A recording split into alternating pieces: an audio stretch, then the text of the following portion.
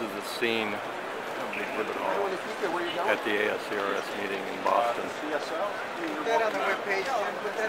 It's gonna be on there, baby. I hope we can keep this as informal as possible. We'll have talks, but if you have questions, by all means, uh, jump up, grab the mic, and uh, we'll be happy to answer them.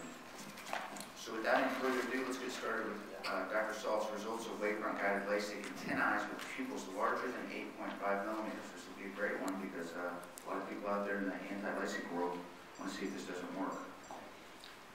Yeah, thank you, John. Uh, I have heard respected refractive surgeons say that because the studies show that large pupils are not predictive of nighttime vision problems, that we no longer have to measure the pupils.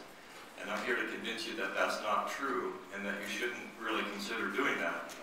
When George and I did the RK study, the PERK study, we didn't even pay any attention to pupil size. And why? Because we told all of them they're going to have nighttime halos and glare because they're going to have incisions into a three millimeter optical zone. My conflict of interest is with Alcon. So here's uh, four of these patients, four of the five that were in my refracting lane, and I looked at these pupils and I said, why did we dilate you? And they said, I haven't had any problem. Bigger than eight and a half. In fact, uh, eight of the ten were bigger than nine. I've done refractive surgery for a long time, and I haven't seen that many patients with pupils bigger than nine millimeters. A physician's manual. And this is the one from this and it says night glare and halos and ghosting may be seen. Some patients may have pupils bigger than nine and analyze the pupil and be careful. The Alcon one also has a similar kind of warning. She was miserable. She had her pupil was mismeasured. She found out it was bigger than seven and a half millimeters, and she was having to use Alcon, and she's complaining about the difficulties she's having. So what I think you have to do in these patients is really spend a lot of time telling them that they have pupils that are unusually large, that they're quite likely to have an increase in their nighttime glare and halos if you do it.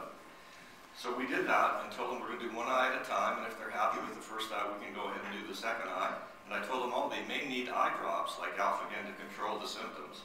So this is what we did. One had a VISX, one had an Alcon laser vision, and three had uh, the Allegretto. So this is their pupil sizes. The refractions were only from minus one and a quarter to minus four and a half spherical equivalents. And I'm giving you the total higher order aberrations pre-op and the spherical aberrations pre-op. So they had a mean total HOA of 0.93, a mean spherical of 0.35, and a mean coma of 0.43. This is the post-op data. All of these patients had good vision. They were 2015 to 2020. Eight of the 10, in fact, were 2015. The refractions were fine. And here are the scores. Now, the total higher order aberrations, you see we went from 0.93 to 1.98. We doubled it. The spherical, one of the things that's a little bit misleading is a lot of the wavefront machines don't measure them if the pupils are real large. Like the uh, Allegretto system only takes a, a pupil up to seven. Same with the VISX. If you look at what the aperture of, of what the uh, Alcon LADARWave, the true aperture is 8.8.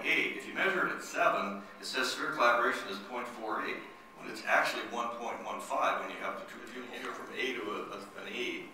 This is their scores. Uh, preoperatively, they were all A or B, and postoperatively, they were all above B, as a couple of them were D even. So in other words, they did notice an increase in their nighttime glare, and if you do a concentric light reflex on them, put a light in them while you look at this test, the, symptom, the uh, scores went down to a normal reading. And that's why they adjusted to it.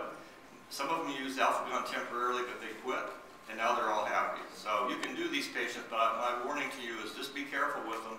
Keep measuring pupil size, and above all, give them a long and detailed informed consent.